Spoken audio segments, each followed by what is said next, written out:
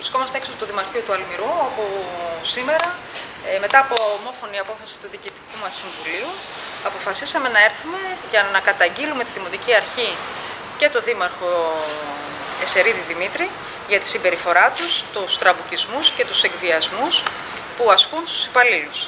Ε, ερχόμενοι εδώ και ζητώντας το λόγο, να έχουμε κάνει και αίτηση γι' αυτό, έχουμε ζητήσει δηλαδή και γραπτός να μιλήσουμε στο Δημοτικό Συμβούλιο, όχι απλά δεν μας δώσαν το λόγο, ε, ο, ο αντιπρόεδρος του Δημοτικού Συμβουλίου μας έστειλε στο διάολο, ο γραμματέας, αντιπρόεδρος δεν ξέρω τι είναι, ο κύριος Γκόβαρης αν δεν κάνω λάθος, και ο Δημοτικός Σύμβουλος ε, Ρούσας μας είπε, ε, καλούσε να, να έρθει η αστυνομία να μας βγάλει έξω. Όταν εμείς πολύ ήρεμα και, και απλά ζητούσαμε να ακούσουν οι δημοτικοί σύμβουλοι του τι συμβαίνει σήμερα στο Δήμο Αλμυρού και να πάρουν θέση.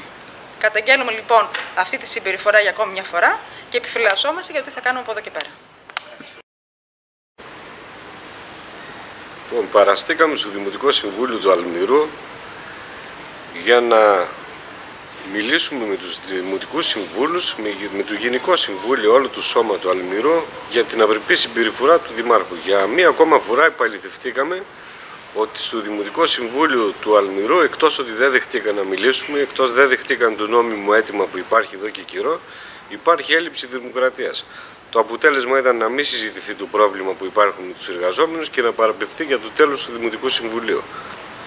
Το μόνο που έχουν να δηλώσουν ότι υπάρχει έλλειψη δημοκρατίας. Τίποτα άλλο.